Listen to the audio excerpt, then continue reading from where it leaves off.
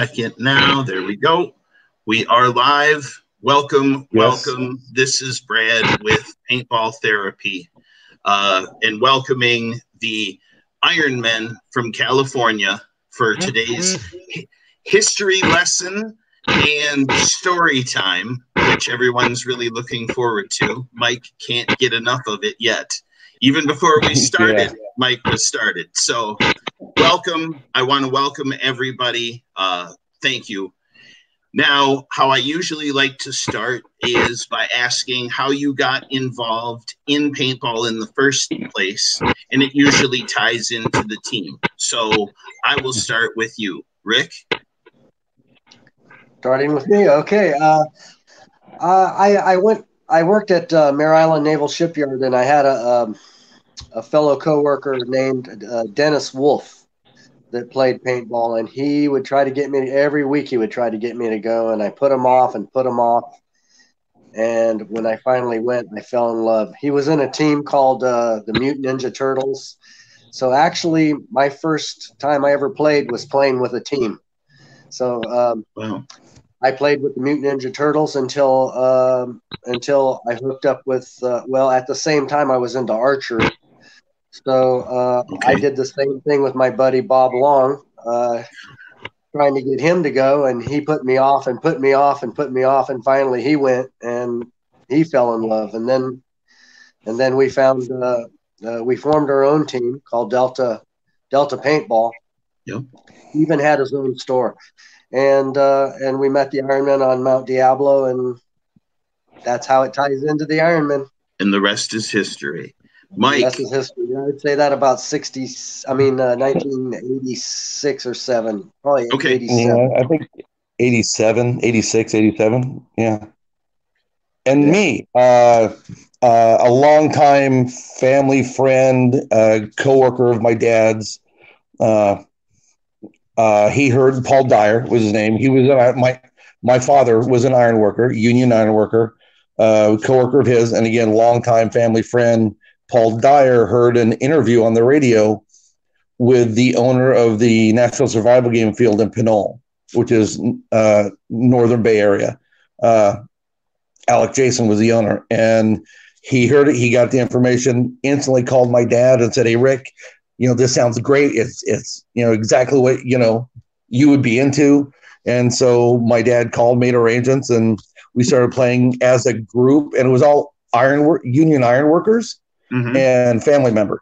And so uh, I would say probably March, April of '85 my dad said, "Hey, look, you know, they have comp- uh, competition teams, competitive teams that play against each other, play tournaments. So he decided to form a team, and since it was all iron workers, that's where the name Iron Men came from. Makes sense. And uh, yeah, and so I was there day one. Yep, and I believe uh, that is your cue, Dirk, if I'm not mistaken. Yeah, Dirk, you were next. Well, I come a little later, but um, Mikey, give him a um, Gillisy. So you've got you've got you got yourself, you got the Ironman, you got the Delta group, and then the other group that came in after that would was was the Strike Force guys, Strike Force guys. So give them kind of a general yeah, idea so, of what happened.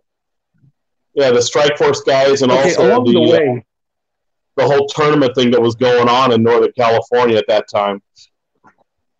Okay, uh, along the way, we kind of uh, swallowed up other teams. You know, uh, teams that would play against us, we'd have games set up against other teams, and we'd just go and crush them. Um, and we we played once a month as a team, uh, and so every time we'd whoop up on somebody, we'd get a handful of their guys wanting to come join us, join the Ironmen, and uh, yep. uh, and so that happened several times along the way. Then, uh, O Pollock, his yep. father Ed Pollock owned Paintball Sam's, uh, one of the larger fields in in the Sacramento area in Northern California, and uh, mm-hmm. he ran these tournaments, and uh, uh, I believe they were seven man tournaments at the time. And uh, we Ironman we wanted to put two teams in, and so my dad said, "Hey, get a hold of your your buddy Bob from the archery shop," because we we knew them. I worked at the field uh, uh, on a at, at Venture Games, uh, where that's how I knew Rick and Bob Long and and his his group of players out at uh, Diablo Venture Games, mm-hmm. and uh, yeah, so so we we wanted to, to put two teams in. Maybe it was fifteen man at the time. We wanted to put two teams in, Ironman one, Ironman two, but we didn't have enough players. Not everybody could go, so my dad asked had me ask Bob Long for him and his Delta Archery group to come to come join us, and and they did, you know. And uh, at the end, of, we took first place, and at the end of the tournament, my dad invited Bob and Rick and Dennis Wolf, and there was a handful of guys, all all of them to join the Ironman. Then, uh, eventually, my dad left the team, and Bob Long was just kind of the the, the natural fit to be the team captain after that. and uh, uh, yeah, and so Bob and St- Bob Long started talking to Clayton Kyle, who at that time yeah. was the was the uh, captain of Strike Force out of Sacramento, and you know, swung a deal for them to join us. And Clayton cut. He just made phone calls and said, "Hey, look, you know, you're gone. You know, we're joining the Ironman. Strike Force is no longer a team." Called everybody individually, got rid of like two thirds of them, and mm. the rest of the guys joined the Ironman. And again, along the way, you know, the cream rises to the top. People drop out. Right. And uh, yeah, we ended up with with long term only two of the guys from Strike Force, you know, which was uh, Clayton Kyle and Marty Bush. Yes. Yeah. Then, uh, yeah, and and so you know we continued to play some national tournaments, some national events, which we would do okay. You know, middle of the pack pro team, we would do right. okay, but we were continuously getting better. And uh, but the Northern California or the regional tournaments, we really dominated. We really mm-hmm. learned to win uh, playing at those tournaments in uh, at Paintball Sam's, it it, uh, it, yeah. it, did a lot for us. It did a, a, lot for the team because really you have to learn to before you can win, you have to learn to win. Right, and that's really where we perfected it there. Yeah, remember right, how was that? You got to remember at the time. I mean, those, those tournaments because I, I was playing on the Predators at that time. My own my own team. That we were the, uh, the the field team for uh, for paintball champs. O's O and his dad's feet. And um, we were playing the tournaments also, but you had you had the Black Diamonds, you had uh, uh, Sudden Death and Navarone coming up from the north. You had, I mean, for the south, you had, um, oh geez, uh, Desert Foxes from up in Reno. Uh, you had the Dogs of War.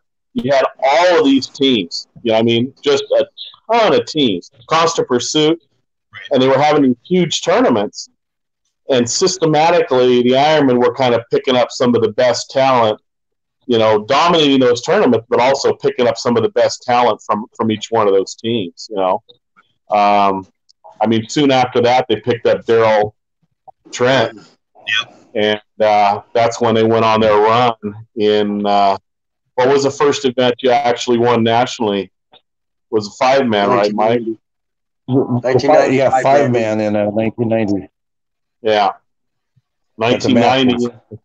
And then after that, it was the uh, onto the RP Scherer series, and you won what uh, six or seven straight events or something like that.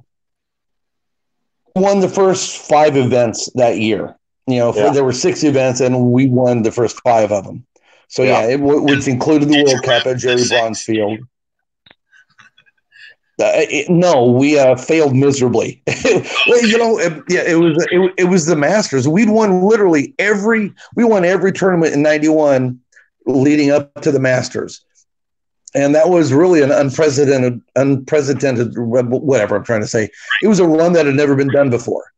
You know, yeah. nobody had ever won that many, much less that many in a row. And uh, going into the Masters, man, we were we were you know riding high and we didn't make it out of the semis. And honestly, it, it was to me personally, it was painful to watch from the sidelines because I, I was just so used to playing.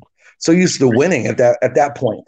It was it was really difficult to sit on the sidelines and watch other teams play in the finals.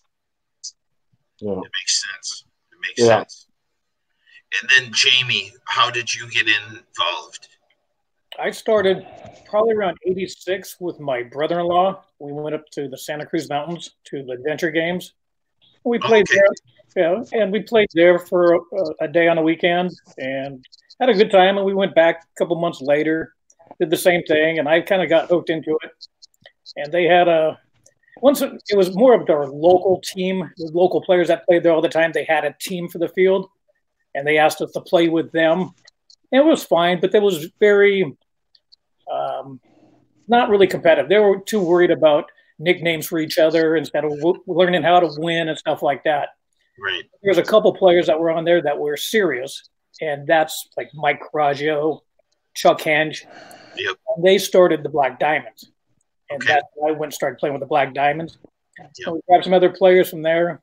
Um, grabbed players from another field that's probably about a half hour away um, called Woodstock and we got players from it was DPA, the Donner Party Animals.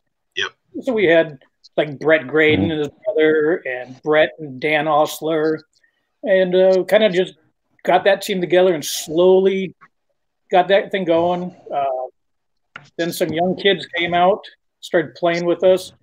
Uh, we called him Doogie at the time because he looked like Doogie Howser. Yep. All the old people know him as Doogie. People know him now right. as Pastana and we have Brian Benini and Brian's cousin, mm-hmm. and um, Sal Cala, even Opie Taylor. You know, they all we, we all kind of played together, and it, it started getting a really good team. And then we were practicing with Iron against the Ironmen and getting our butts kicked and just learning how to win. You know, right. a couple little things, and there was a lot of good teams around around Northern California. So you start playing and you start learning, and then we started doing some tournaments. And uh, started picking it up pretty good. Played NPPL and all that. Played some five man. With the first one we played was the Poconos five man, and okay, it was a it was an eye opener. Uh, we you know played against like the PMI uh, factory teams, and we, we pretty well. We pretty did did pretty well. Uh, yeah. So so we played on that for a while, and then after that, um, that's when a couple players left and went to the Ironman. And a year later, Bobby asked me to come on over, and then I was on the Ironman. There you go. So, Dirk, did we did we wrap you completely up, or well, because you handed it off to Mike? I, th- I think I, maybe I, I kind of moved it back. I kind of moved it back a little bit because I thought it was important with the Strike Force guys and all that. But what ended up happening was, is I went, I went from, I was just like Jamie, you know, all of us. There's all of us all of us in Northern California, all these teams, and then there was the Ironman. Yep. But uh, uh, I went from the Predators, and then I went to Constant Pursuit with Freddie. Right. And I and I played a season with them. Well, actually, actually, I went to Ironman two, and we went to Ironman two in probably '91. It was right when the Ironman started doing big on this big winning streak. Yep. And I tried. I actually got tried. We tried out. They had a I think five players try out for the first team, and that's Shane. Shane, Shane was already on the team, and I think Joey, his cousin, was or was uh, Brian's cousin. Brian's uh, they, they, they made the first team off the Black Diamonds, and so on the during these tryouts, uh, Brian Benini made it, and another guy named Chris from Southern California. And I didn't make it. I was like the third choice. They took two so I had an opportunity to go play with uh, Freddie and go pro and play on CP.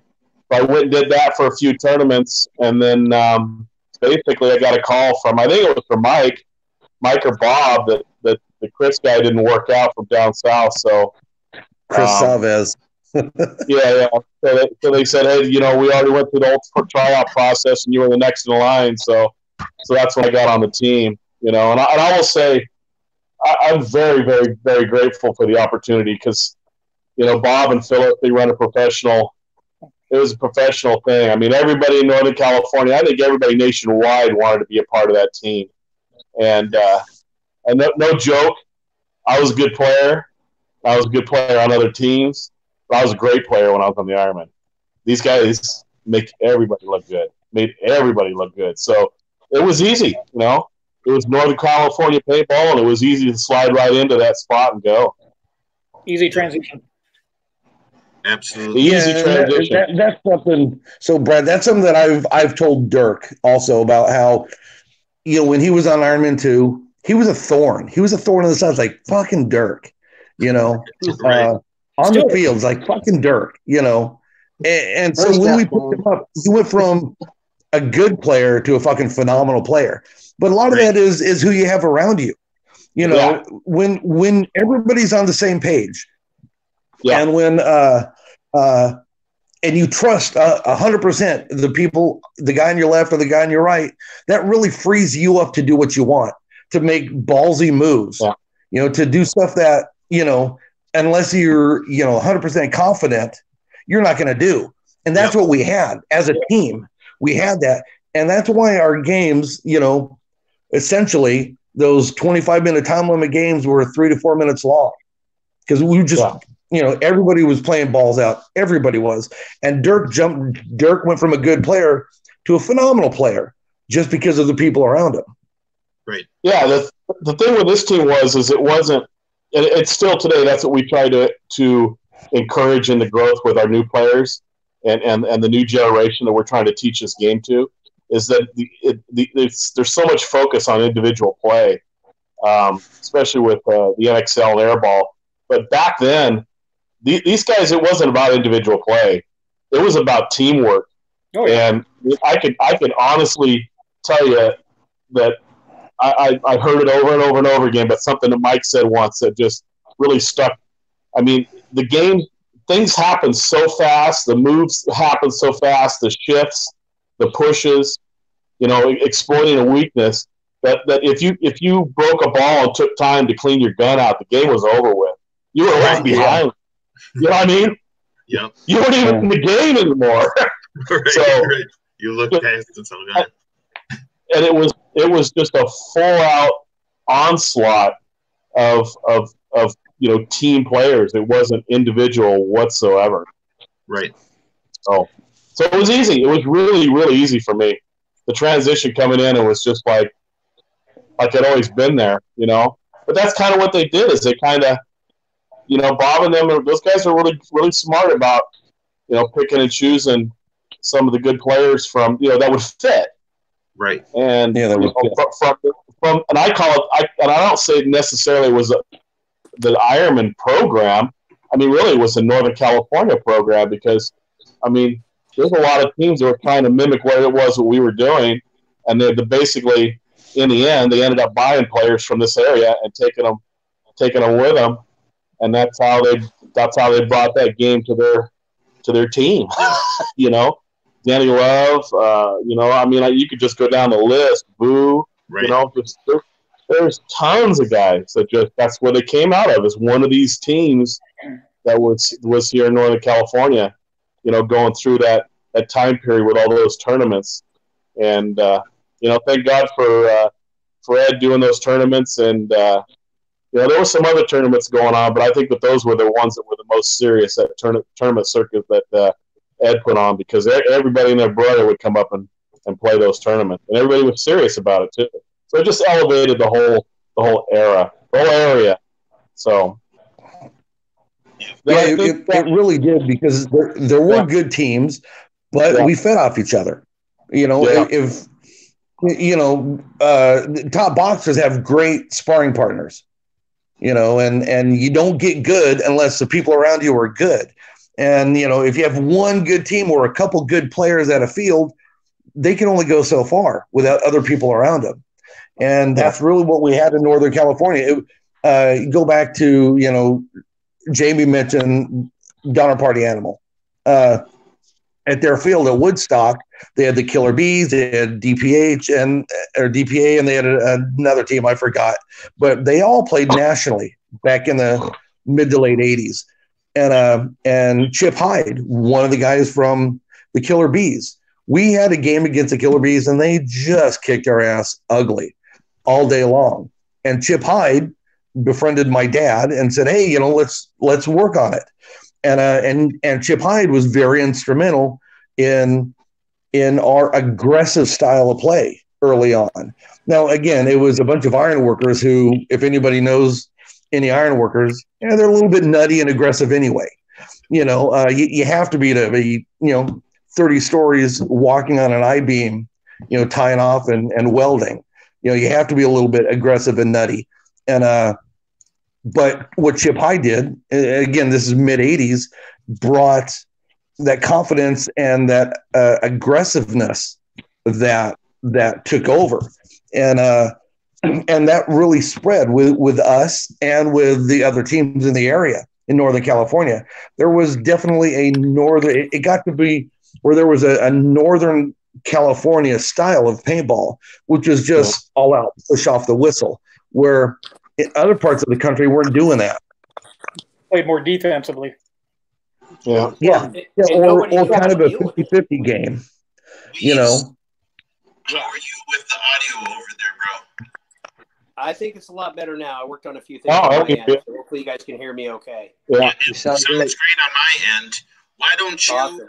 uh, tell us how you became part of this family?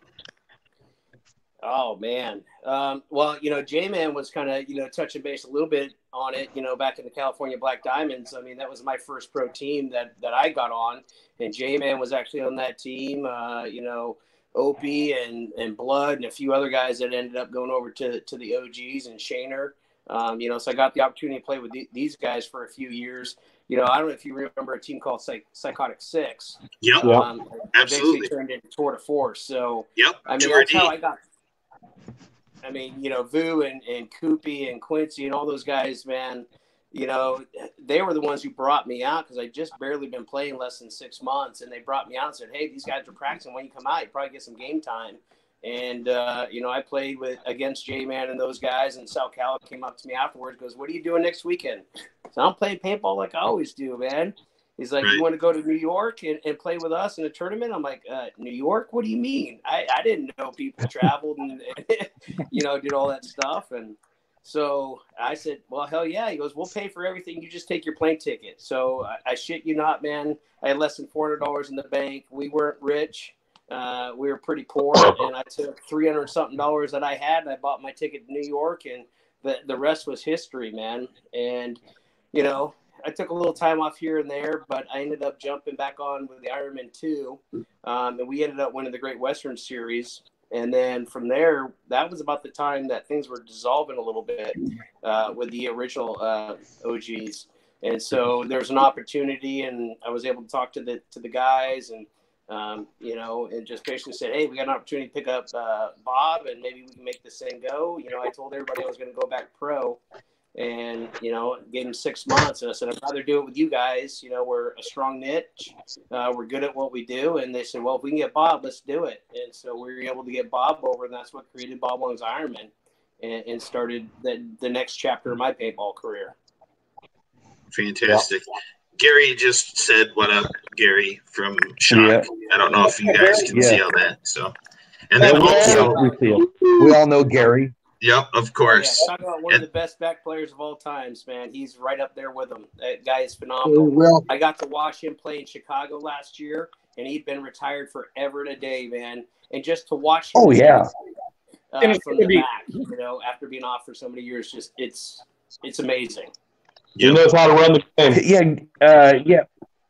Watching Absolutely. him in, in Chicago, like you said, Dave, uh, his command of the guys in front of him and his field presence is it, it's amazing. It really is. Just yeah. watching him work. I mean, you know, no, I never, guy, you know, I I saw it from you know. And yeah. you know, being in those two positions, the most important thing, especially being a front guy, is having somebody talk to you, tell you what's going on, help you out, and get you moving. And you know, Mike said it, man. You know, just his command presence in the back gives you so much confidence as a front player or a mid player just to get up and go. And you know, part of you know, we were just talking about it is you know the aggressiveness that NorCal had, and it's because of things just like that that there was that trust and that guy right next to you that you pick up, you stand up, and you go. Uh, you right. don't hold back, um, and, and, you believe and you trust, man. I mean, that's the, the, the best way to say it. When you got somebody, you know, when you screw up or he screws up and he comes to you and puts his arm around you, and says, "Hey, I made a bad call, man. I'll work on it. Don't worry about it. I got your back. Guess right. what? I'm not going to lose confidence in that guy, man. We all make mistakes, but it's being able to build off of that that makes us a better player and a better team. True. True. Absolutely. Absolutely. contagious in this area, 100% contagious. Yep. So, so many teams, so many players. You know, we a lot of people overlook also was the the technology out of the area. You know, the yep. The Autocockers, uh, Bud Orr, Glenn Palmer, you know, the Uniregs, uh, the uh, the rock regulators, um, the low pressure guns, you know, line. Yeah, I mean, we the uh, expansion chambers. There was just so much. Right. Air America. Evolution. Yep. There's so much change. so much going on. Yeah, yeah, and it was all. It was all. It was all happening right here. You know, Vu Vu is. You know, everybody that could tinker on guns was tinker on guns in, in, in this area, and, and pushing pushing this whole thing forward. You know, with the technology, so with with the play, with the teams, with everything. Man, it was it was it was awesome. It was a really good time to to be a part of it, and uh, you know, it was it was great. Right, and now that puts us into the timeline where we wrap everyone together. Yeah, we were talking about before the program started um, how some teams have a philosophy of uh, just cycling through players when they hit adversity. Now, you guys were dominant for a very long time. Uh, had your moment, like you said, Mike, uh, before uh, the year when you went five straight. Tell me a little bit how the team works uh, and worked with Bob and together, kind of like the inner workings of the team. Bob took care yeah. of almost everything. He took care of the motels. We always banked our winnings. We banked our winnings for the next tournament. And yep. and I also want to say, Mike and I talked about this without our without our sponsors all along the way. Every sponsor that we oh. had, every one of them. Yeah. Yep. Yeah, yeah. Uh, you know, we wouldn't. Would, you can't win a tournament if you don't go. Right. Yeah, so again, it was really the support of the sponsors and and uh sorry, Rick. The, the support no, okay. of our sponsors ahead, allowed us to make so many events. And uh again, you can't win if you're not there. And we right. couldn't be there without literally we couldn't be there without the sponsors. Now there's no way I would have done as much traveling as I did through my twenties if it weren't for paintball. And if I had to pay right. out of pocket for all that, it definitely wasn't happening. You right. know, uh and and it's it's be sorry. No, not a problem. but it, but I say, Mike, I mean, part of, part of what call. helped do all that and paved the way of working with the. Oh, I lost everybody. Can you hear me? Yeah. No, yeah, that's okay. You have to go go out, then come back in, Mike. That's fine. Go ahead, Weeze. You can you can take over. Yeah, but but I'll, I'll tell you, you know, a lot of what we did, you know, and, and was in order to get the, the the money coming in. So you go to all these tournaments, as Mike was saying you know, we did a lot for our sponsors. I, I think we did way more than most people. We had a different philosophy than most. And, and I still mm-hmm. see it to this day. Absolutely. You know, it's, it's, a sponsor wasn't just a sponsor. It wasn't somebody just kicking down money. A sponsor was part of your family. They were part yep. of the team, just in a different aspect. So, you know, if yep. it wasn't like, hey, here's some ideas to to tweak your product and make it better, and here's why, um, or hey, what can we do to help set up? Um, do you need help? Um, you know, do you need help doing autographs? What is it you need help with? Absolutely. Uh, you know, and and I can tell you, there's a time time where And John Gregory was right there. He goes, "Weeze, what are you doing?" I said, "Well, John, it, we're in Tennessee." I said, "I'm getting ready to go play paintball. I got my my cleats on; they're untied. I got my camis on, no shirt because it's hot as hot as hell in, in Tennessee, right?" And I'm walking right. out to the car to load my stuff up, and he goes, "Weeze, you need to go tie your shoes." John, I'm okay. And I, I shit you not, man. John Gregory got down, tied both my shoes. I'm like, John, you don't need to do that. He goes, No, I can't have you getting hurt, man. Right. But that was the that's the family atmosphere that we had, you know. Yeah. to, to, Mike's point, without them, we couldn't do what we wanted to do, or to to go to those many tournaments, you know, whether it be here in the states or overseas. So, you know, my hat's always been off to them and what they do for us. Yeah, they've they're, they're definitely part of our family. I stayed at John Gregory's house several times when we went down there for for practices and and photo shoots. Um, just like I told you earlier, I sent you that photo of uh, of uh, of George with uh, with Bullseye. Uh, we even had we even had him guest on the team on the team and play games with us in tournaments occasionally. Yeah, um, you know, it was it was a big family. You know, everybody was part of it, and uh, it's it was that's that's how it that's how it was originally. Yeah, you can see George there with a he's facing the camera with a black sleeve right yep. hand up in the air from bullseye. Yeah, Gino playing also some games from National yeah, Gino. Plays. Yeah, it was Gino or was it George? George was um, bullseye.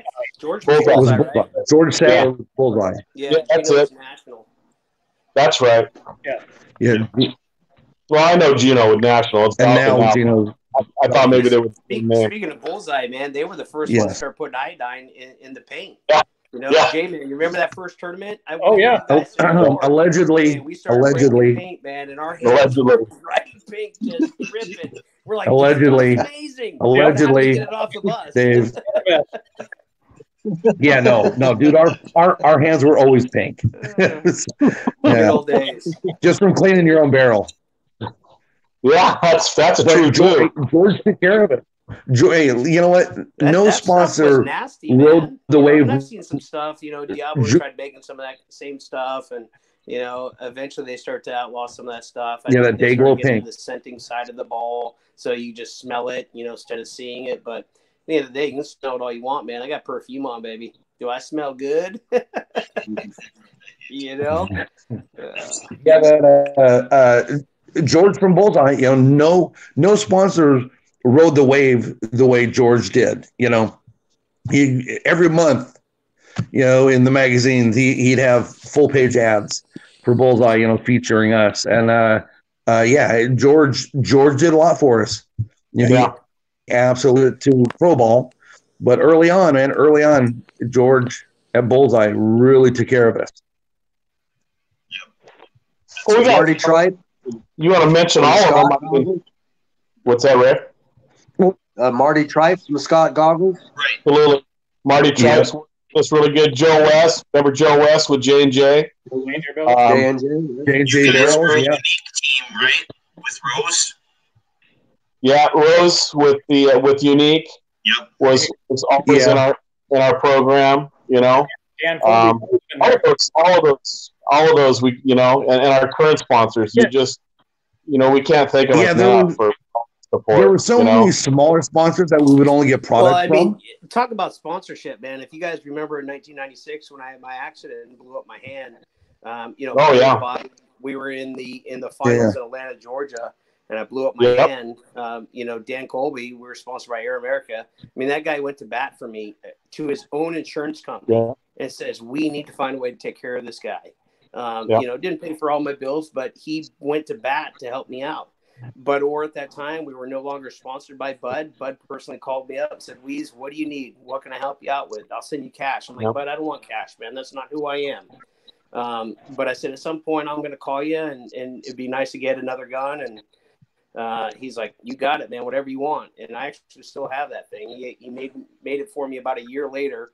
Uh, you know, laser engraved my weasel tattoo on it. And you know, I still got that thing, but you know, it, it just goes to show, you know, how it is truly a family. You know, and that's try, how I've tried to explain it to, to, to my wife and my kids is paintball doesn't matter where you're at, man. Doesn't matter if you're on the other side of the earth. You know, we're all here for the same purpose. We're all here to help each other out. Um, on the field, it's a different story. You know, Dirk and I could tell you some stories. Him and I button heads, man. You know, but oh, on the field, it was a completely different story. You know, and here we are, how many years later, the same team and, and having a blast, you know? Yeah. So, um, well, yeah, we we we butted heads with all the big team, but about, afterwards about, we'd hang out with them. how about a little story time with uh, with I got we'll, we'll, tell a few little stories that of uh, of of games or or things that we remember that are that are true that were re- really kind of legendary. One of one of them, I will say from my perspective that I saw. I want somebody else to tell it, but was Bay City. Um, it was the year before I joined the Ironman, and and this is one of the. I mean, I, I sat there in awe watching watching these teams play. Ironman and uh, Terminators was another one at the time. Remember, Ironman are all shooting Florida, Florida, yeah. shooting hawkers. You know, the team I'm playing for the Predators, we're shooting semi-auto uh, Tippmanns at the time, but uh, the uh, the Terminators at the time were still shooting 12 gram uh, Bushmasters off the ground, and uh, there was a specific game in that tournament where um, I'll let let Rick and Mike take it from here. But when the Ironmen played the Terminators in, in that Bay City Open, it was pretty damn amazing. Rick, do you want to start this one? We'll let Mike finish. Well, uh, Mike and I were supposed to hold the left wire. Mike and I were supposed to hold the left yeah. wire. We we got right up on the uh, the the flag station, and there was like two or three people there, and then one would leave, and one would come back, and two would leave, and one would come back, and it got to a point where we were just supposed to hold them off, and uh, it got to where there was just one guy left, and I said, Mike, there's only one left. I'm I'm going to go down this wire and Mike saying, "No, no, don't go, don't go," and it was too late. I was already, I was already on my way. Well, the guy popped up to shoot at me, and Mike shot him right in the temple and knocked him out. And I just kept going till I got to the flag behind him, and then I came back in, and and by the time I button hooked back in, another a Terminator had come in, and one was unconscious on the ground, and and there was two refs and another Terminator standing over him and I shot the guy standing up, and the rest turned around. No, no, stop, stop. And I'm like, no. So I come running out with the flag, and Mike thought I was still with him. Mike's talking to me. Rick, don't shoot, don't shoot. It's James. He thought I was James. So he's talking to me the whole time I was gone, I think. And we ended up bringing the flag back, and um, our our other side was getting chewed up. We we brought it back oh, yeah. just in time to bring the flag. Yeah. Yeah, yeah. yeah. Uh, we, we had eight guys go through the anise. If you know, if, if anybody remembers the fields out there on Mare Island, there was a field with all that anise on it. You know, where you could be three feet away and not see each other. Really thick reeds, and uh, uh, Bobby took you know eight of them going through the anise, and that's that's where the Florida Terminators pushed, and he sent Rick and I over to hold on the kind of the open side, and we crawled up, we crawled way up on him, and uh, if anybody knows Rick Sendejas, he doesn't have a defensive bone in his body. okay, he's all about one speed going forward at all times, right? And uh, you know, not to pat Rick and I on the back, but uh, I would put the two of us against any other team's hold players, and I, my money's on us. You know, because we weren't technically hold players, but uh, yeah, I was telling Rick to wait, wait, don't go because I could see a guy back towards our flag poking his head up over the bunker and I wanted to shoot that guy before Rick went. And here I'm talking the whole time, and Rick is gone down the tape, button hooks around. I didn't know he went. He told me he was going, but I kept saying, "No, wait, wait, wait. Let me let me shoot this guy first. Yeah. Then, uh, luckily, I missed the shot at Rick when he came running out with a flag. You know, thank God I missed him. But yeah, yeah, we were getting our, our ass whooped by the Terminators on the thick side of the field. yeah, I was on the sideline. I was on the sidelines, and that's exactly what I witnessed. It's a bunch of Ironmen walking out, and then all of a sudden, a yeah. big wave of Terminators walking out, and those guys were all what Cuban, and they're all cussing at each other in Cuban, like, "What the hell's going on?" And all look at each other. They had no idea what's going on. Nobody, had, they had no idea. You know, they're all walking out with shots on their back, and it's uh, it's Rick Sendejas and Michael Baird pushing down the hold side. Yeah, yeah. It was, uh, yeah, from from the again, Rick doesn't have Rick doesn't know the term hold. That wasn't in his vocabulary or his style of play. No, he does not. You know, it's always forward. Yeah, you are right, Rick. You said it still isn't, and I have I have tape to prove that. So, yeah, yeah the best defense is a good yeah. offense. Yes. You just you learn to stay with him. That's Yeah. right. You learn to. Oh yeah. Yeah. It's one of it's, oh yeah. it's It one was. of It was. those- Uh, oh, I just want to say, man, I've been, I feel really fortunate to be able to play with these guys. They're the best of the best. And I've been fortunate to play from the, the time when you had to use a, a little knob to cock a, uh, a, a Nel-Spot 007 to see, uh, to see semi-automatic come in, constant air, the first hyper ball, the first air ball. Um, I just, you know, it's been, it's been awesome to see it all happen like right. before From my that eyes. perspective, also from that from your perspective, it's one of the special parts of it. You know what I mean? Because you were you were in the lead pack for many, many, many, many, many. well, I'm not trying to you for a while, for for a long time. Well, yes, but you know, just Yeah. to, just to be there and say, you know, it, it didn't winning or losing, eh, you know, Right. it was great we won, but you know, being able to just see it all happen and be on the ground floor and hear even today, here's some of the teams call our our calls that we Right. made up back Right. in the Yeah. nineties. You Yeah. know, the G one and the and the nine ups and Yeah. yeah, it's it's awesome, man. I, I feel really fortunate. I've been blessed. That's fantastic. yeah, yeah, to me It's that definitely that's one of the amazing things to me is is you know the the the G call. You go to any any field around, just walk on players, and they're shooting they're shooting out opponents, and they're calling them a G. Oh, there's another G. I got a G over here, and and that was us in the in the late '80s.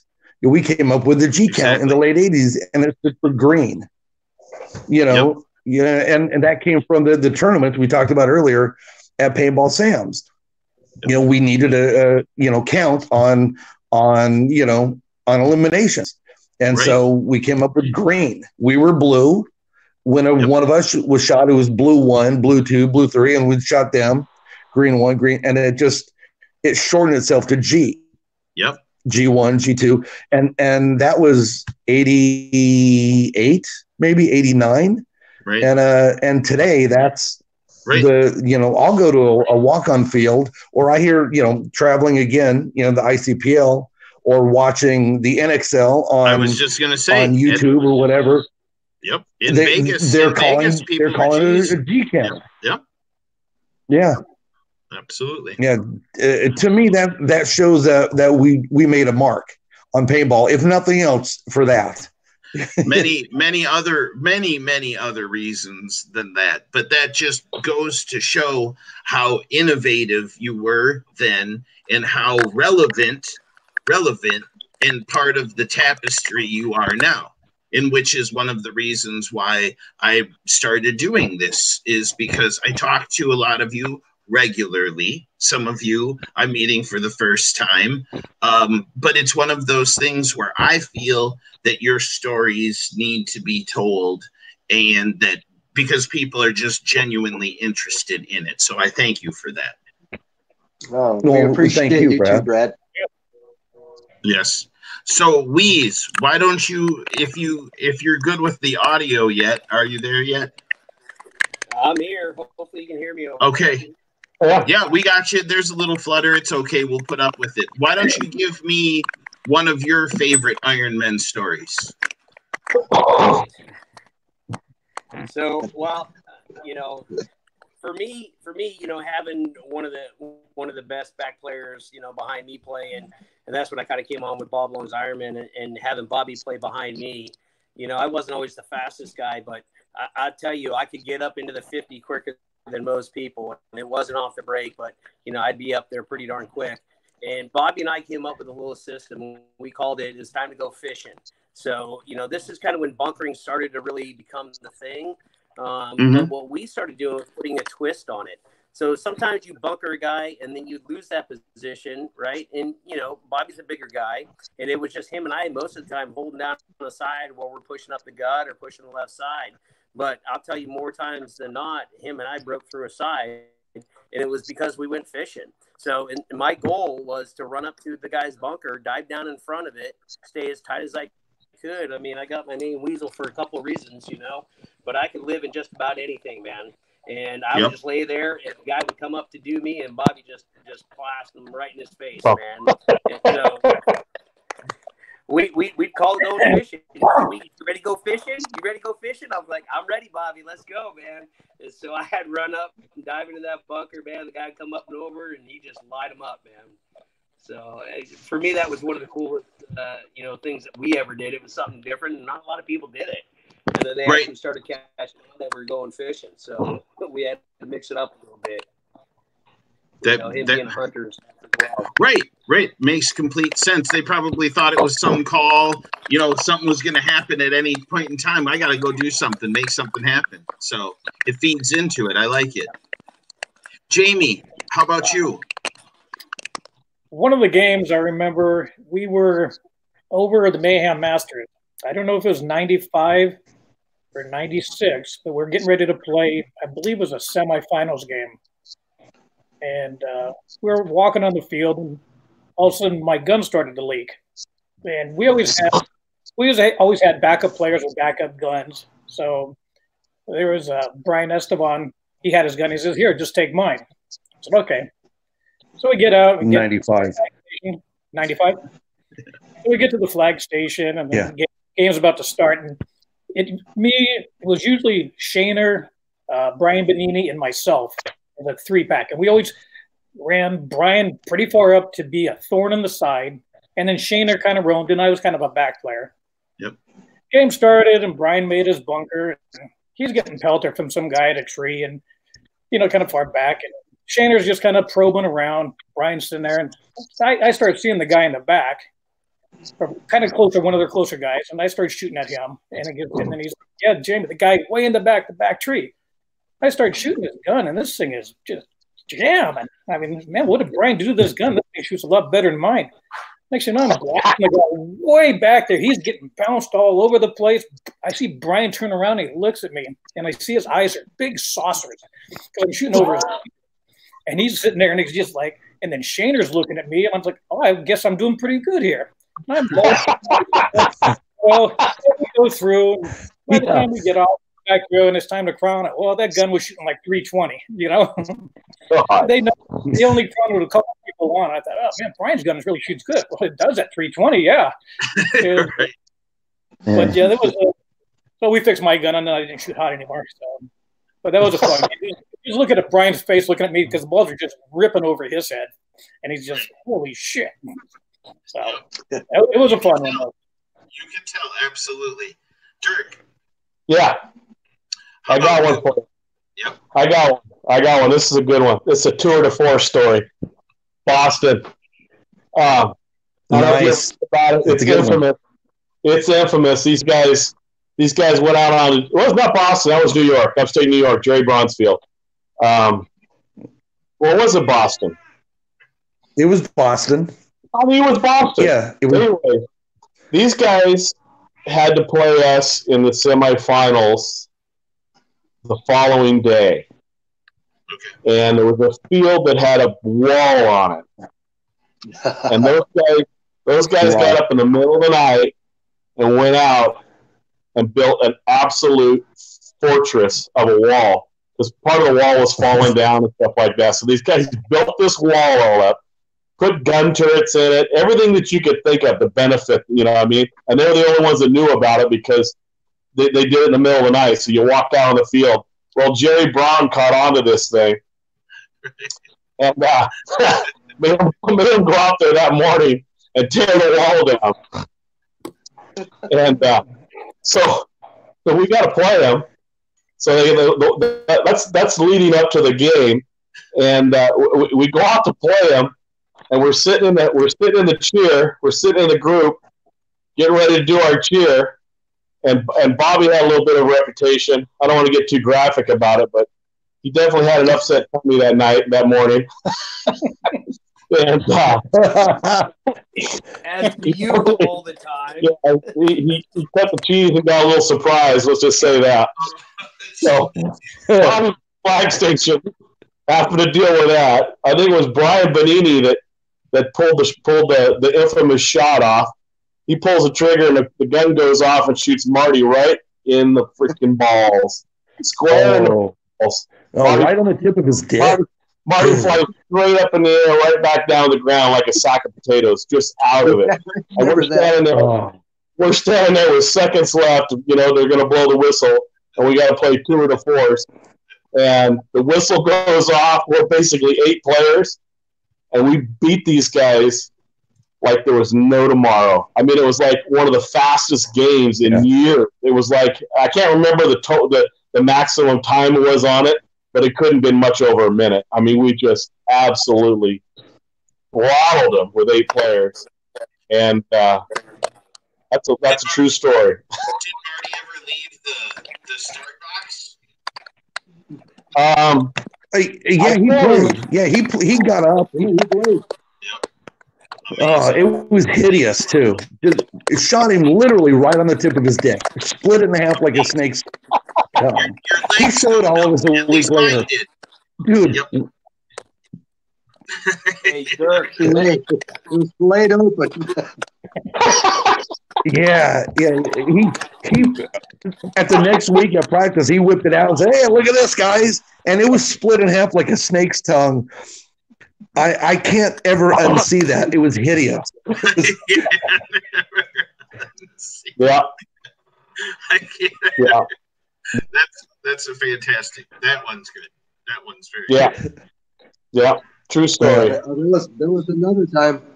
There was another time. I thought you were going to tell that one, uh, Dirk. With uh, Tour de Force went out to play, and we had our uh, sponsors uh, stencils, our um, for the for the banner, and we put Mhm. our sponsors. We put our sponsors on their banner, and they took the picture Oh, yeah.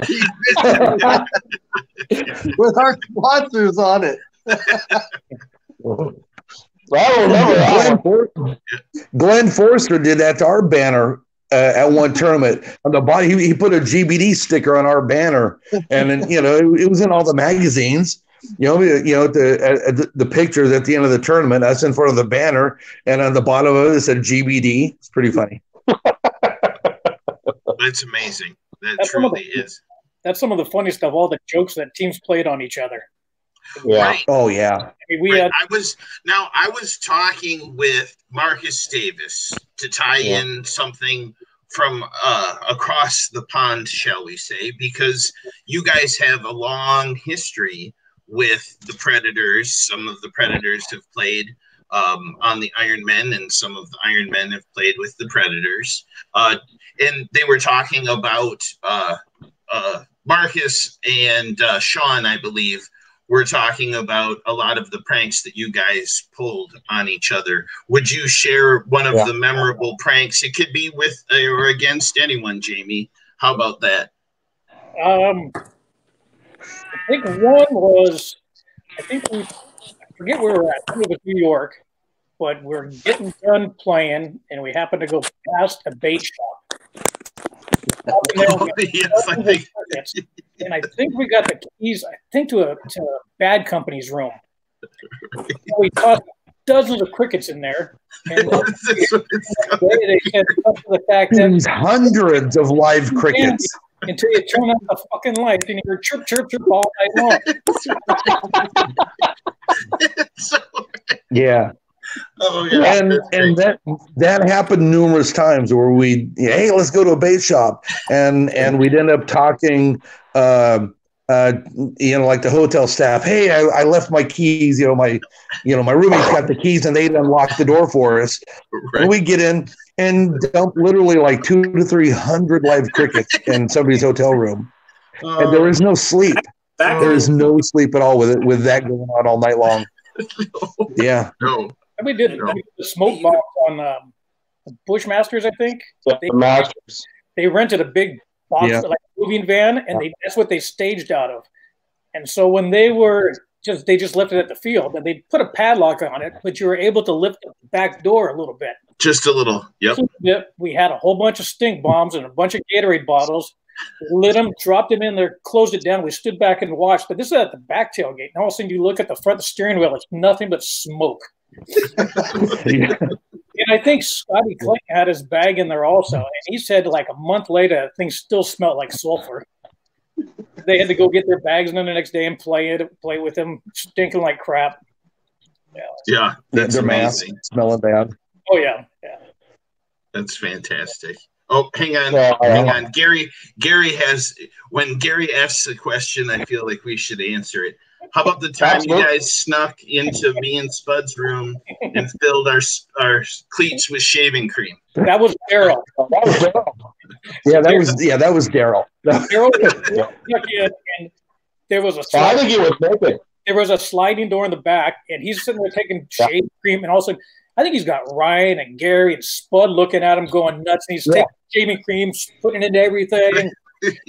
Oh, and then he's calling me, Jamie, you got to get me out of here. You got to get me out of here. So yeah. at the front door, yeah. sliding door. I'm looking out my hotel room down the hall. I'm like, and he's putting on their camos. They just got, I think, Realtree camos. Yeah, yep, yep. Like, or the advantage, maybe advantage. Yeah, yeah. So he sat there. I said, Daryl, the door's clear. He goes, they're all back by the slide. I said, the door's clear. So he runs out and he runs down the hall. And they see him. They start chasing him around. They wasn't kissing me chasing them all over the place. And he said they dove in some bush and sat there really still, and they walked right past him. Those are the guys I want to shoot. no, no, no, you know, oh, yeah, no wrong people to piss off. Right. Yeah. yeah. How you doing, Weeze? You good? Can you hear me? I can hear you. Oh, yeah. Can, yep. All right. Yep. Hey, that's not the first time Daryl got chased, man. I can tell you. Yeah. no. Luckily, Daryl was fast. He was very fast. You guys remember the Gardner one? Him and Gardner going at it, a little poop and a little uh, cow tongue in the bed. Oh, I remember the cow oh, yeah. tongue. Yeah, the cow tongue. Uh, yeah, that happened a couple times. The cow tongue. Oh yeah, we, we used to we used to fuck with the uh, the Florida Terminators because they were so superstitious about things yeah, we would we would wreck their rooms all the time with with again, you know, you, you go to the grocery store and you buy a, a cow tongue, and we'd slip it under somebody's pillow in their hotel room. Yeah, good fish, stuff. Fish about the, the, the dead chicken. curse? The dead chicken. yeah.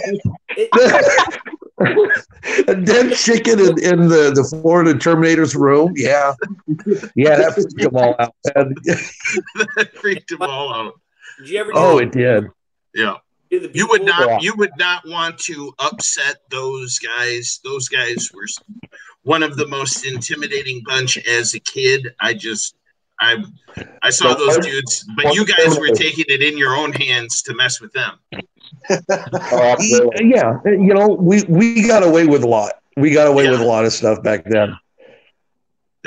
Yep, and that's great. Yeah. Weeze, why don't you tell us uh, uh, another story, if you will? So, you know, the Dirk was kind of mentioned. If you guys remember back in the day, man, people used to take, you know, a little ribbon and just like tie it on, you know, like that. I mean, the yeah. Ironman, you know, started we that, that, really mastered it. you know, I think it goes back to to Bobby's hunting days. I mean, the, the guy was just a genius when it came to that stuff. You know, the, the next closest guy I'd say is Glenn when it comes to really looking at stuff and setting stuff up. But we were playing uh, in Portland um, and we went up the weekend before the tournament. And Bobby's like, all right, so we're going to play this thing. And so we're like, all right, let's go. I'm to go here. And Bobby's like, no, you guys are going to go over there. I want four guys. I want four guys back here. I want you to aim up. And then we had little walkie talkies, right? Because you didn't have the cell phones back in those days. So it was like, all right, to the left, up higher, you know, to the right. And what we did, you know, because people started catching on to the little ribbons that you're tying onto the trees, you know, in the middle of the night. Not that we did it, but other people did.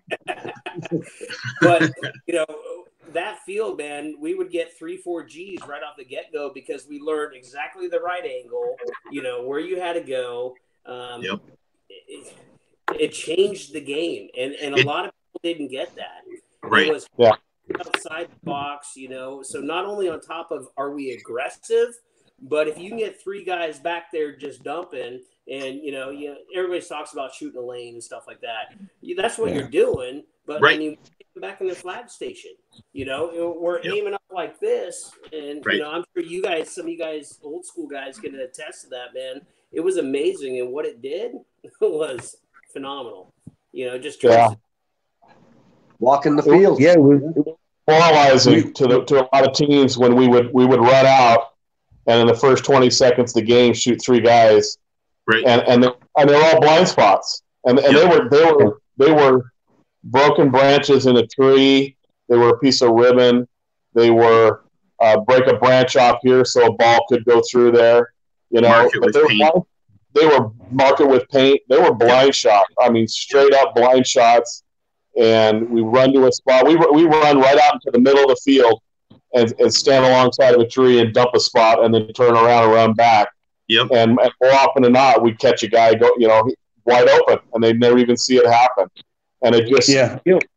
we get those quick G's real quick like that, and then it was just a feeding frenzy from that point forward. Yep. Two or three, It the rolled game was over. man. But I was able, like when I went from the woods into airball, I was able to take that same technique just Yeah. like right. So a lot of people would say, okay, hey, I have a tree here, I have this. You know, being a snake player, I had to I had to elevate the game and say, okay, how do I take mm. my woods experience and put that into it? Yep.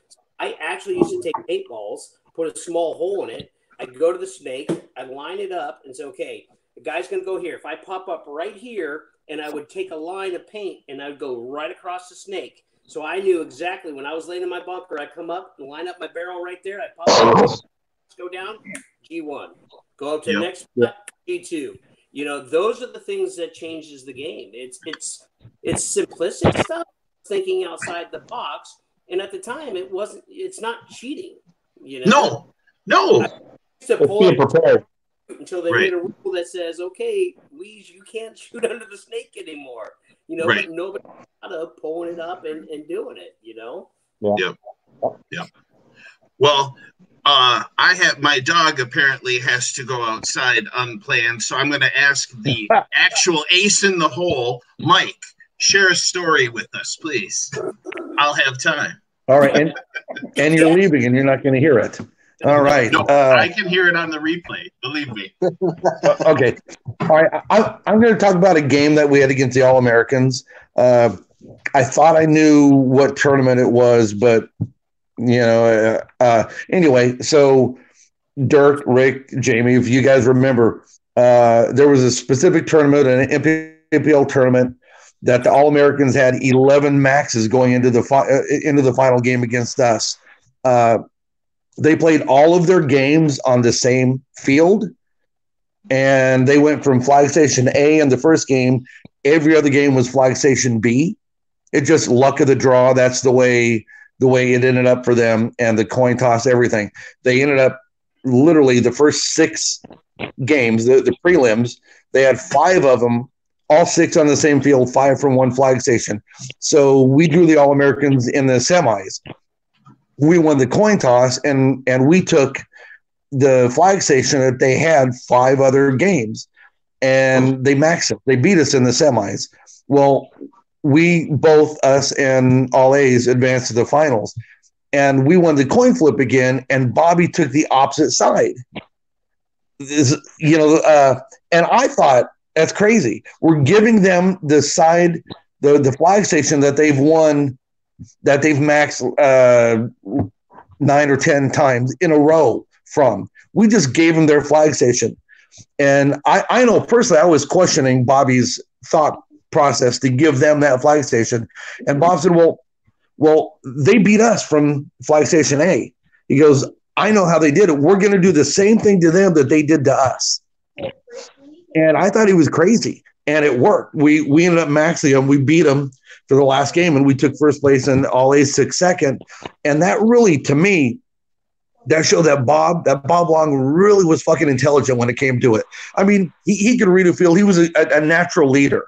He was a great leader, and, and a, a, but but for him to give them the flag station that they keep beating everybody from because he because they beat us from the other side and wanted to duplicate the game plan that they had against us, I didn't think it was going to work, and it did. It worked, and uh, and we ended up winning the tournament. But but to me, that really showed you know how smart Bob was. You know when, when it came to to game planning. Yeah. But Mike, it also says something that we were never scared of anyone. We were never scared of taking the opposite side. You know, there was never that intimidation factor. At least when I played with with with you know the OGs, you know, Bob Long's Ironman when I played with Avalanche, you know, we went through our hiatus. There was never that, oh shit, I got this side. It's like we always had a solid game. Yeah. We always knew. Yeah. You know, to your point with Bob, I, I, he was able to dissect it and say, okay, here's what we need to do. And we all believed in him, you know, being a great leader, but we also believed in each other. And, and for hmm. us, that was always the advantage. I mean, I can't tell you how many times I've had somebody come up to us, you know, before we're playing them and say, you know, great game. I'm like, what are you talking about? We haven't even played yet. And they're like, no, no, you guys are going to beat us. It's like, no, go out there and go have fun, man. You know, win or lose, have fun. That's why we do it. Are we competitive? Hell yes. You know, I'm one of the most competitive. Um, but you know, it's it's that different mentality of we were able to just get that much more of an edge on somebody because of those things. Yep.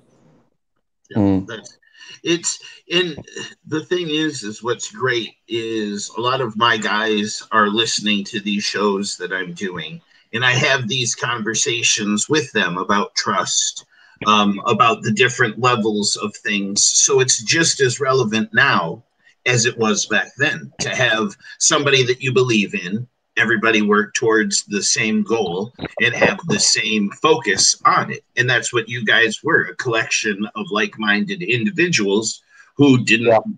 Who yeah. didn't want, accept, didn't accept anything mediocre, nothing, right. nothing, and had respect for each other. Right, yeah. right, yeah. because you all knew what it took, and you all gave it your all. Yeah, yeah. Bob, we, Bob we wasn't but when we fucked up, we could have a conversation. right. We weren't yeah. at each other. Now, yeah. Pepper's Flair, man. I, you know, I've had my share of Dirk and I have gone to battle a few times. You know, back in the day, we all have them. You know, yep. but it's how do you take that intensity? How do you windle it down and then sit down and say, okay, here's what we got to do. Here's what we're going to do. And then we throw it out over our back, dude, and we go out there and then we go kick ass. You right. know, and a lot of people can't do that. They hold on to that yeah. shit. And, yep. and, you know, good teams don't do that. They learn off of it, they get better off of it, and then you you work on it and get better.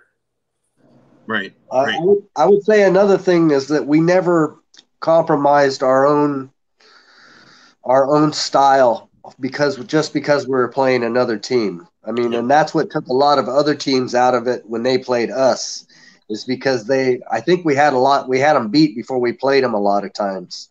Yeah. They're like, okay, they're going to come at us hard. We better not take the bunker we were going to take. Let's take the bunker that's behind that bunker, and they'd give us seventy percent of the field off the bat, you know. And right. you didn't want you never wanted to do that. You, yep. you gotta and, you gotta go out and get get in each other's face. And that goes exactly exactly with again another parallel that I'm talking to my guys is that we need to say and dictate the pace. We never need to change what our pace is. It's just always be the same, make the other team react to our actions. And that's exactly what yeah. you're saying. Exactly. Because if they're if they're trying to figure you out, you're already in their head. Yep. That, yep. I, that's yeah. You, you gotta play Yep. It, and it's as, as true today as it was when it started. So uh, again, it's it's absolutely gospel. But now, uh, a side note is: Did you guys uh, hear that uh, Bob's going to be interviewed on the uh, Fred Schultz and Friends shows or show that's coming up? Oh, I didn't know that. Yeah, yep. I heard yeah. there's a possibility of that's it. good. Tuesday. Yep. I'm looking forward to seeing him at the um, at Rick Wilcox's uh, cancer benefit on June the 13th at uh, West Coast Adventure Park. Yep. So I'm hoping Bob can make it there. Yeah, yeah nice I, plug, Rick. Yeah, a, lot of us, a lot of us will be there if you can make it. Yep. A lot of us will be there. Absolutely, and that was that was changed from the original date, but they they're saying that it's going to go and from what everything is going on in the news now, it's very possible that a good chance that it's going to go. So everybody, I encourage you to take a look. Do you know uh, the website by chance, uh, Rick, uh, for the field out there? But it's West Coast. Uh, yeah, the, the field. Wide cancer benefit. Yep. um, then you'll get all the details. Worldwide Okay. cancer benefit. Worldwide cancer benefit. Yes. There you Yep. can sign up.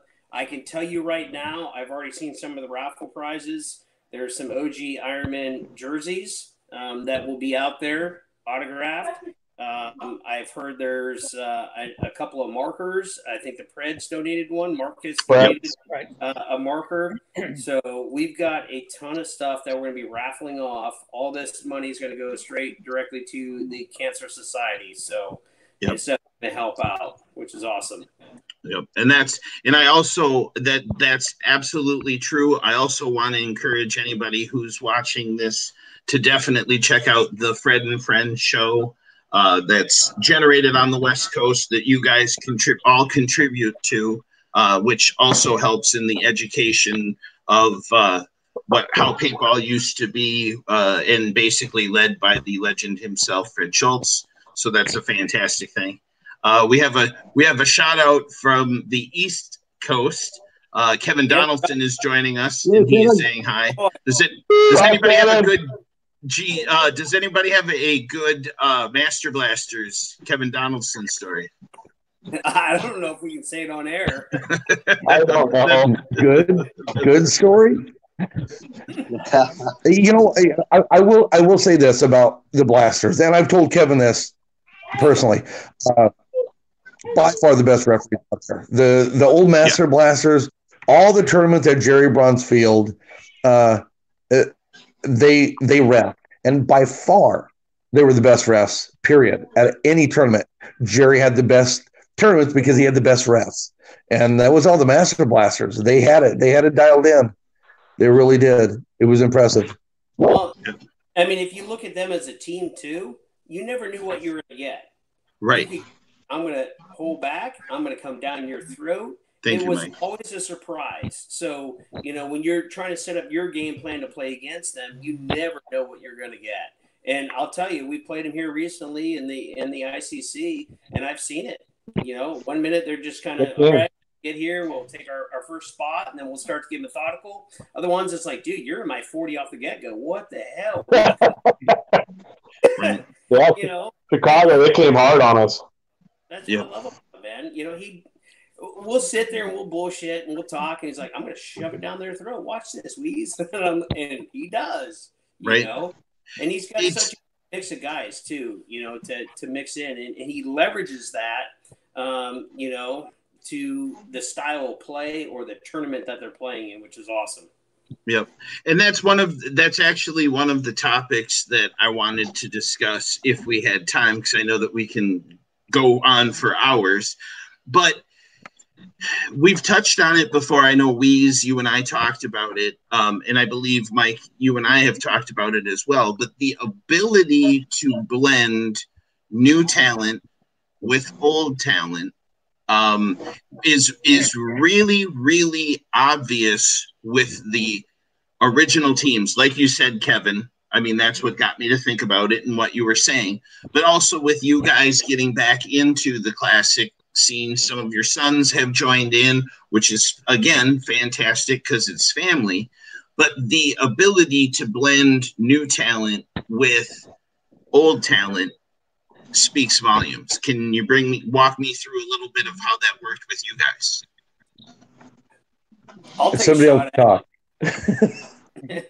you know, you look at it, you got Little Weeze, you got uh, Dylan, which is Dirk's son, you got uh, Barrett, which is J Man's son, you got Yep. LB, uh, which is what I, I, I nicknamed him. He's going to be LB for the rest of his life, whether he likes it or not. And that, that's Barrett's son. Yep. You know, to it's one thing to have in the blood. Um, it's and and that's that's only on the top team. Um, we have probably what another three guys that have sons playing on the team on the second team. Yeah. Um, Yep. You know, not including Yeah. some of the West Coast guys where you got Portillo's. two sons. You know, so it's through and through. So it's it's in the blood. Number one, but number two, it's these these kids, man. It's a different mentality. It's a different style of play, and they're catching on, man. Um, you know, and I don't want to say like you know because we're sitting there and we're coaching and we're teaching them that they're getting that much better. They are taking it serious, which is good to see. And you don't see that in a ton of the kids anymore. You know, it is having know, a legend, having a legend as a father and a director.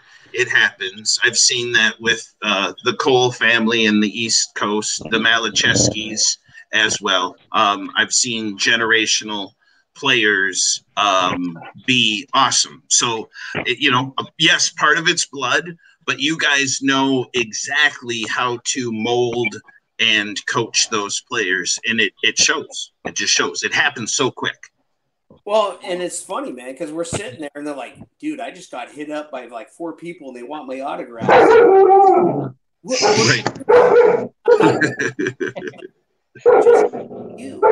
It's okay. I'll, I'll take care of you, Mike. Go ahead. Go ahead, please. An autograph, go give him an autograph, man. It, you know, and it's funny because at, at first it's like, you know, everybody knows you guys. And it's like, okay, but now you need to go build your name. And, and that's one of the biggest things that I tell my son is go build your name. Be the player you want to be. Don't be like me. I can yep. teach you what I know, but you got to have your own style. You have to yep. have your own groove because if not, then you're you're living up to my standards, and you right. can't do that. You got to live up to your own standards. So, what is it that you want to be? What kind of you know killer? Do you want to rip their head off? Be a more finesse player. But it's freaking amazing, dude. You know, just being able to play side by side. I never thought I'd I'd have that opportunity. You know, yeah. when I retired out sport, um, you know, talking to Dirk and, and to Mike and some of these guys and getting me off the couch and back out there, it's freaking been amazing, dude. And and watch my son just you know get out there and play. And I know a lot of these guys can say the same thing about their sons. I mean, little Baird right now, that kid's on a mission, dude. Right. Oh yeah. Phenomenal.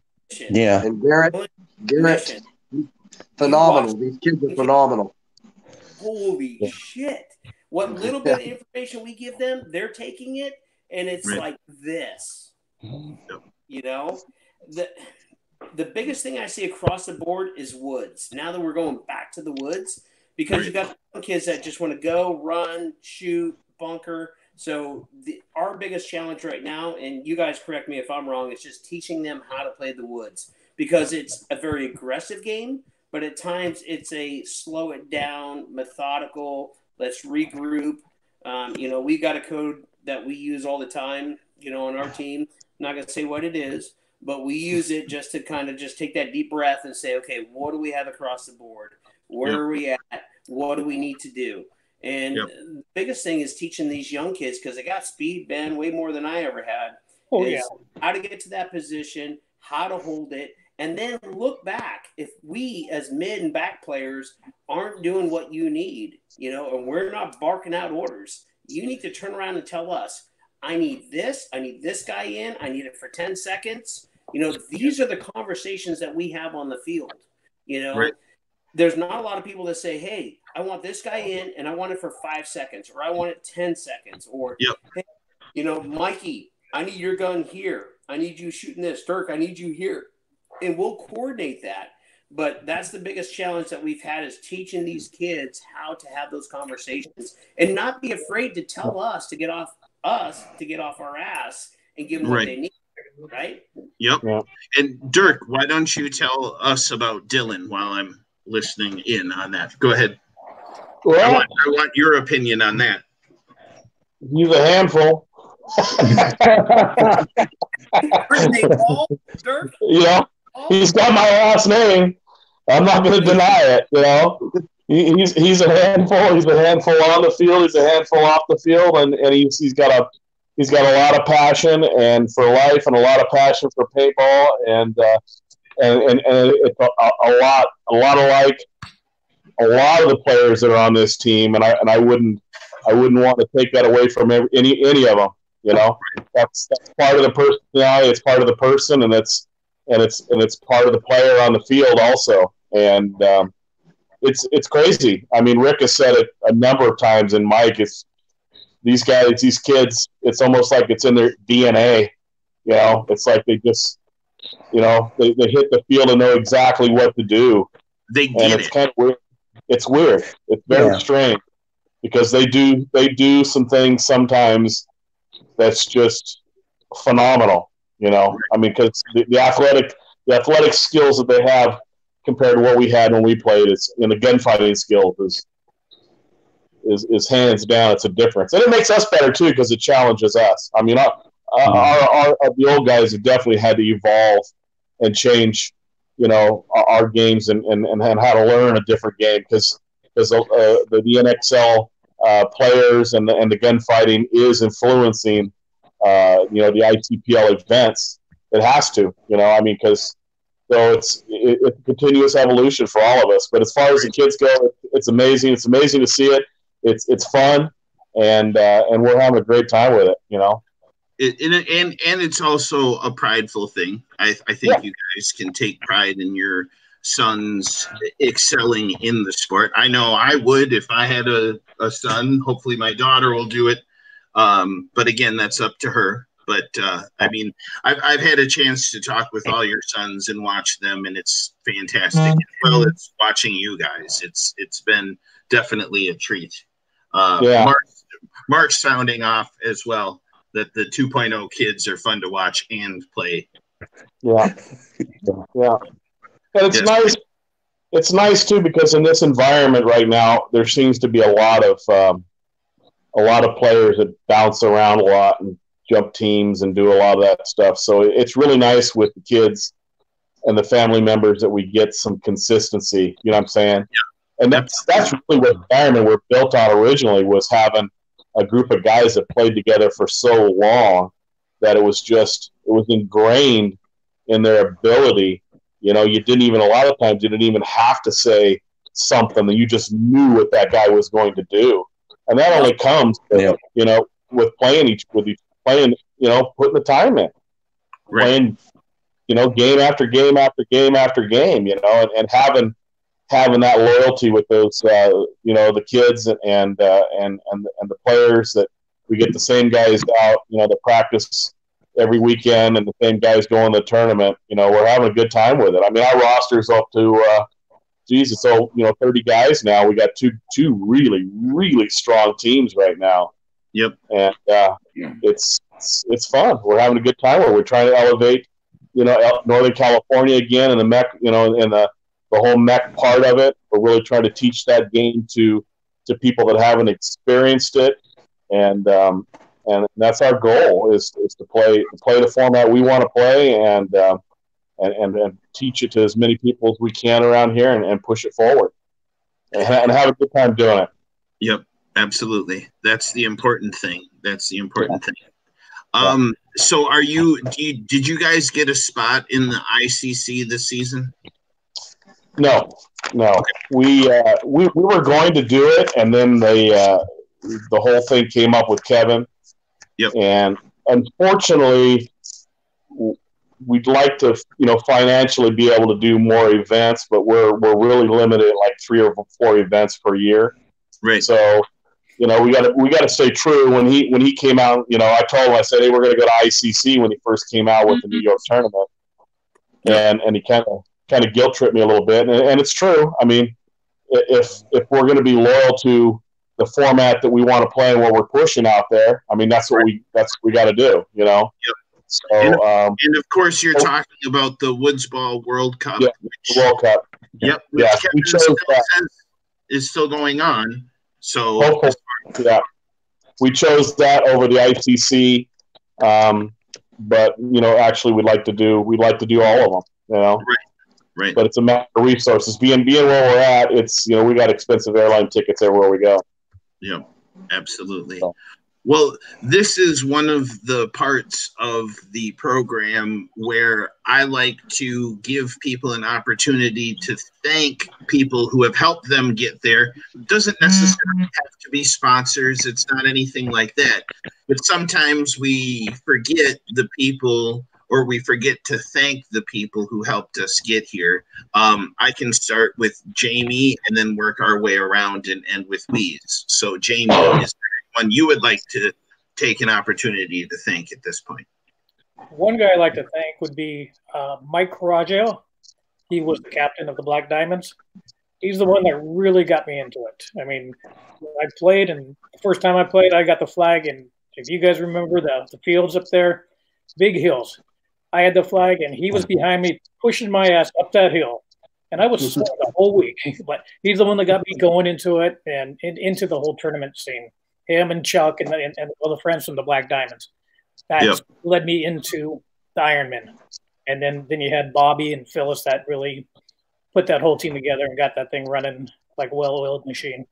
Yep, so, absolutely. You know, and and all the sponsors. You, you, know, you can't do it without them. You know, it's right, it's of course. So. And the list and the list is very long, and we'll be able to address that at the end of it. But that's that's perfect. How about you, Rick? Uh, well, I mean, I guess I'll have to thank my wife and, and my my former girlfriend too for putting up with me through the whole, you know, through the whole through the whole growing uh, growing pains of all paintball. But uh, you know, I I also want to thank everyone that that I play paintball with on when I'm not playing with the Ironman. I play with PBSL and I just love that man. That PBSL format. It's uh, Dirk's yeah. played on it, Mike's played on it. It's a great format, and we played. Uh, we've had pump only and mechanical. And uh, I want to thank all the the great field owners in the Bay Area, including Cliff at American Paintball Park and um, and Anthony at West Coast Paintball Park, and Micah at Davis Paintball Park. They're, they're all they've all been really good to me and treated me right and Mr. Gong is uh, assisting you with this one for Dennis Wolf. I don't oh, know. yeah, and thanks, Dennis Wolf, for introducing me to paintball. Yes, yes, I'd like to see him again someday. Right, yeah. right, and this is it's one of the things where the more programs that I put out like this, the more that you know, like legends like Gary get involved, and I reach out to them and try to get them in. I think it's just going to keep growing and growing. Yes, and Fred, I'd love to have Constant Pursuit on as well in some incarnation. So how about how about you, Dirk? Anyone you want to thank? Um, I thank all the sponsors, one hundred percent. Uh, thank uh, the original Ironman, Bob Long and Phyllis, for giving me an opportunity. You know, to play these guys. I mean, that was that was a dream for me, and it came true. Um, and then and then you know thank thank all of the all of the uh, all of the teams and all the players through the 90s you know? We couldn't do it without competition. You, that's what it's all about. Yep.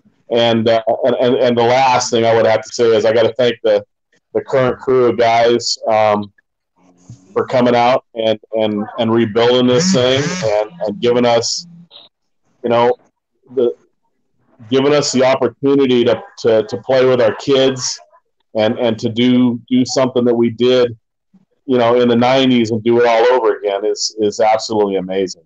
You know, I mean, who, who an opportunity to do that at 54 years old, you know, go out and play at a professional level in a sport that you did, you know, when you were in your late 20s and 30s. So, you know, with your kids and everybody else's kids. Yeah. It's, it's awesome. I mean, that's, I'm very, very thankful for that. So, Yep. I, Fantastic. I, I, thank everybody from top to bottom in this sport, 100%. Right. right. Absolutely. How about you, Mike? Uh, well, you know, I'll start with my dad. You know, I'll, I'll, say Paul Dyer for giving my dad the information, and my dad for stepping up and putting it together, and uh, and forming the original team, and and the, the, the logo that we use, the original logo. Uh, Brad, I sent you uh, yep, I'm uh, a, a, a, picture of it. Yep. That and and the uh, the the current logo that we use now, those are all hand drawn by my dad. Uh, you know the team name, everything. You know the the uh, just the aggressive style of play. All that was instilled originally by my father before yes. Bob Long took over. And uh, that and and right now, dude, I'm going to say Dirk. Thanks, man. Uh, for for you were the one that Uh-oh. pushed to cook together. Together. And i was hopeful.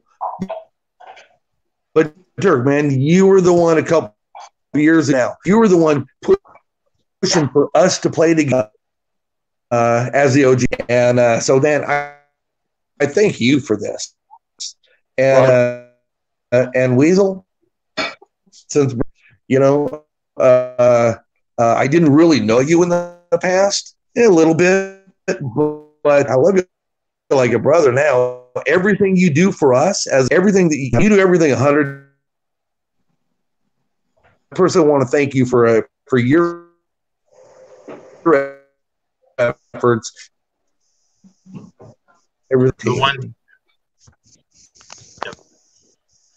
And I was going to say the one time that Mike's Mike seems to be failing him is the time that uh, he's thanking Weeze. So, right. Weeze, how, how, about you? Uh, you know that this is a hard one for me, man. There's so many people that people that have touched my life in the sport. Um, without the sport, I wouldn't be here. You know, if you've ever sat down and really talked to me, you know, I've said it multiple times, man. If it wasn't for the sport, the people around it. So first and foremost, I got to thank all of you guys, man. You know, all the ones that supported me, you know, whether you were a fan, whether you bought the product from our sponsors, um, you know, without that, I wouldn't be here. I wouldn't be playing. I wouldn't have all those years of, of playing.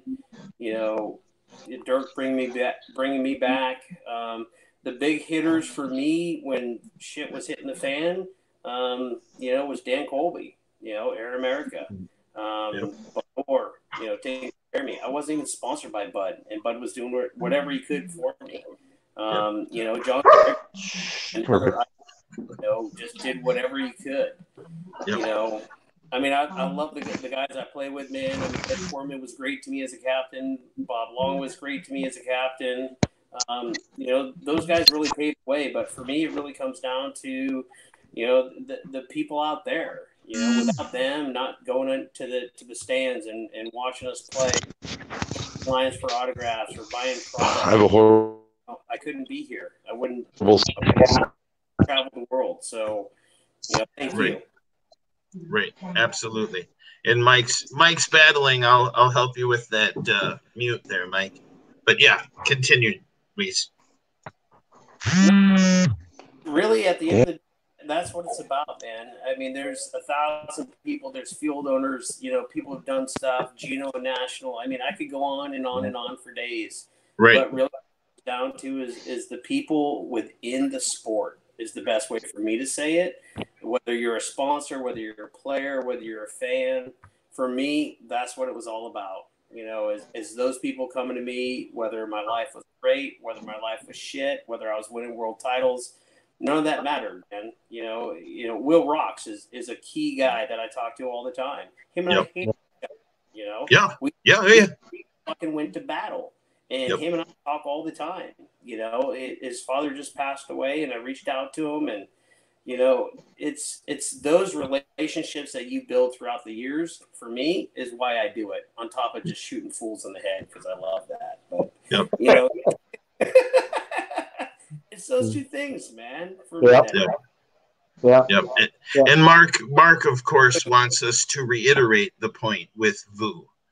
well, yes, and and I would and thank you, Mark, because if it wasn't for Vu, um, I wouldn't be playing. Um, I worked uh, literally about two blocks down the street from Vu's shop, and I was riding my bike, and I heard some shots. I'm like, "What the hell is that?" And I only played paintball twice, mm-hmm. and so I stopped by and he was just opening his shop up. They had a chronograph area where you could actually go in and shoot it. And I started talking to these guys, and you know, there's like, come by, hang out. And so I did, and that's you know where I got my opportunity to come play with J Man. Um, and I didn't have a lot of money. We were pretty poor. I had a, a full time job making four dollars and ten cents, man. So he's like, come work the shop. I'll take care of you. I'll give you a panic cost, whatever. So for him, man, he really helped me get out there and play. Yep. Fantastic. Well, that's the this thing about is sport. I'm sorry, Dirk. That's the that's the deal about this sport is that yep. that to be be part of it, you got to be you got to be one of those giving type people. You know what I'm saying? Because we don't do this for money. You right. know, the field right. owners. Nobody nobody out there is making even the industry. Nobody out there making a lot of money. You know, this is this is this is love for the game and, and love for each other and support each other and, and helping each other and, and pushing along. And that's the way it's been. That's the way it's been in the 80s, the 90s, you know, all along. And I just hope that the uh, the newer generations don't lose lose focus of that because that's what's important. Having fun and, and, and, and enjoying it and pushing it forward. You know. Paint back in the guys was $120 a case, 125 yeah. a case, uh-huh. 125 rounds. It was not cheap to play when we started. No. You know, to, to your point, Dirk, if it wasn't for Vu helping me out as a as a 17, 18 year old kid, let me work in the shop a little bit to make a few extra bucks, uh, or give me paint at cost, I couldn't have done it. So. Yeah. And now this is the point in the episode where I give you guys a chance to thank your current sponsors because I know that you can do that currently. But I'd like you to take all the time that you need to thank your sponsors. Come so on, whoever Captain. wants to take that. Thanks, Gog. Thanks, CVO. the CVOs. We love. I love my CVO. Oh baby. Thanks, Brian Benini, for push for the goggles. Yep. Yeah. Thanks, Dan Colby, Air Systems, man. Your air systems rock. Yep. Absolutely. Um, we got custom for our, our jerseys and our yeah. and barrel covers. They do a all of our gear. Yep. All the local fields. Anthony Portillo and his family, West Coast. Right. Mike, Mike at Davis. Um, uh, American Paintball. I don't know the guy's name. Cliff. Um, Cliff. Cliff. Yep. The uh, Capital Edge with Baines and Junior Junior down at uh, Extreme. So I mean, all, all of the fields around here help us out. Every single one of them. You know? Paintball helps us out. Yep. And, and I'll be honest, too. There's a seat. There's a seat at the table for everybody. Yep. We don't turn anybody away. You hear that, sponsors? you hear that out there? But that's it. The, the big thing, the big thing that I've seen is the level that you guys are committed to your sponsors, the dedication, the representation. It's, you know, it goes back to the beginning and it's not lost on anyone. So, again, it's one of those things that um, I know that they stay with you for years. I mean, you know, years and years you have relationships with your sponsors and they've they've definitely taken care of you and you've taken care of them. So that's a testament to you. And we'll continue to do that. You know, I mentioned it earlier. There's not a lot of teams that understand what it's like to go set up uh, a tent, a booth, uh, to man it, to help sell product. I can tell you, every one of us on this call has helped out and helped mm-hmm. our sponsors in some way, somehow. And we will do it till the day we're dead, man. That's what yeah. we do. A yeah. sponsor is not what can you do for me, it's what can I do for you. How do I help your your product? How do I help your company be bigger, better, stronger? And if people start thinking that way, they're going to be ahead of the game. And that's something that we've always done for years. And you know what? Even if we, you know, times have changed when it comes to sponsorship. We're not in it for the free reign. If we can take a good product, use it, and it costs us a little bit of money, that's what we're going to do. But we're going to stay loyal and we're going to we're going to be true to it, right? Right. Because they've been true to us. Yep. We're not jump every year. That's why you didn't see any kind of announcements come out this year because we have a great group of sponsors that help us out any way they can. And when they can do more, guess what? They do more.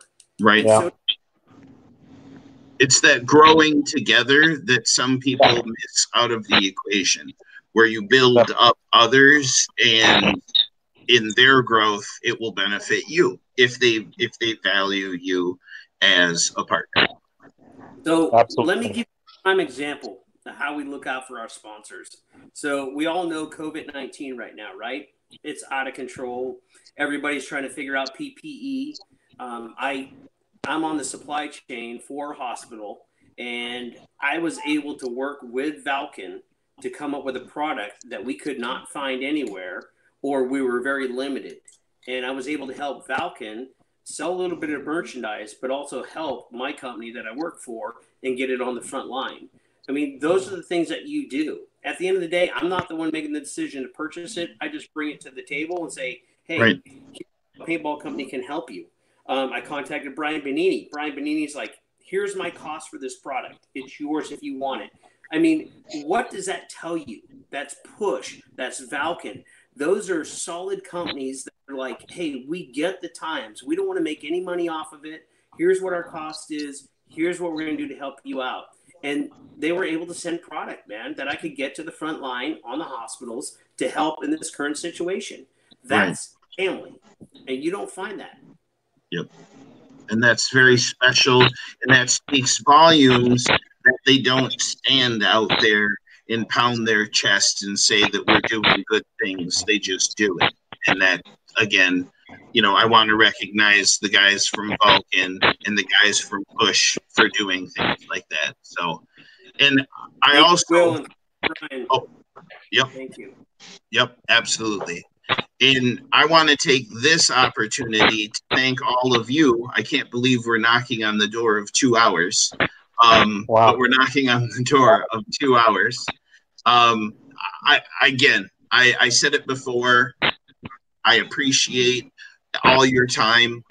I know that we're going to have a lot of questions after this. So, of course, I want to welcome you all to do an episode later, maybe possibly after um, the next event, because we'll have a lot to talk about then, a lot to be excited about then.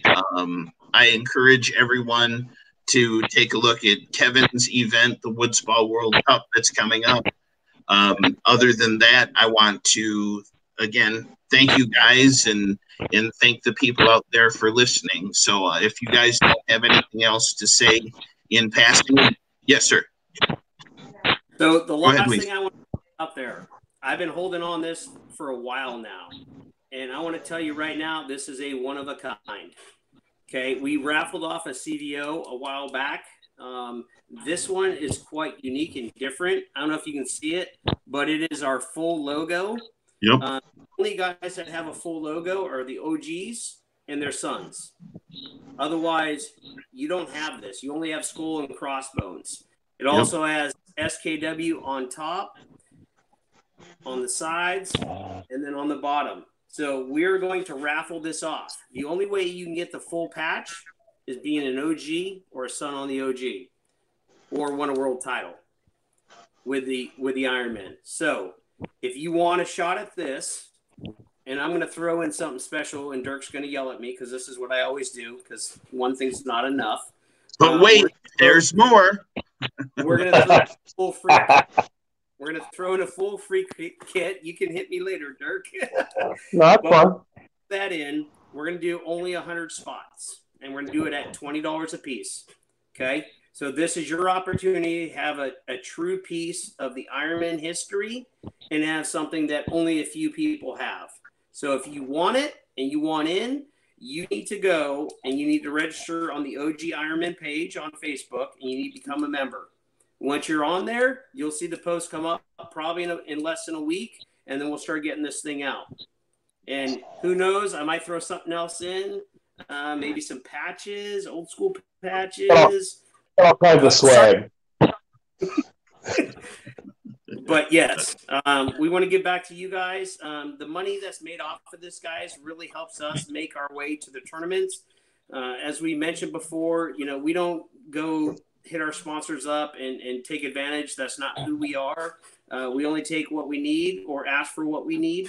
Um, and we don't get a lot of money from them. So this is an opportunity for us to make a few dollars to, to get out there and, and play in these tournaments. So whatever you can do to help us out, we'd appreciate it.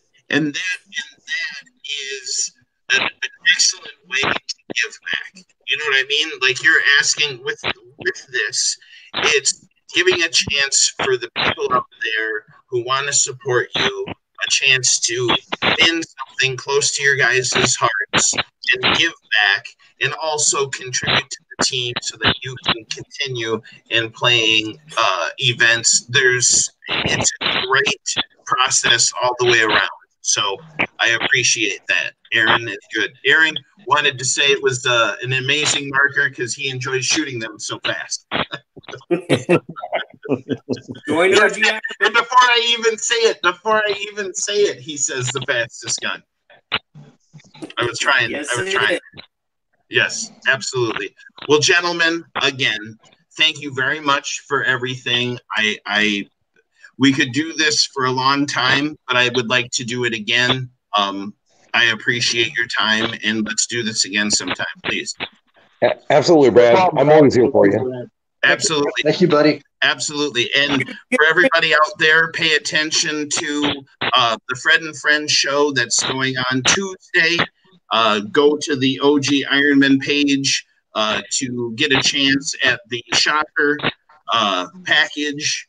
And uh, again, thank you guys for everything that you do in the industry. It wouldn't be the same without you. So thank you. Thank you, Brad. Thank you, guys. Thanks for having us, buddy.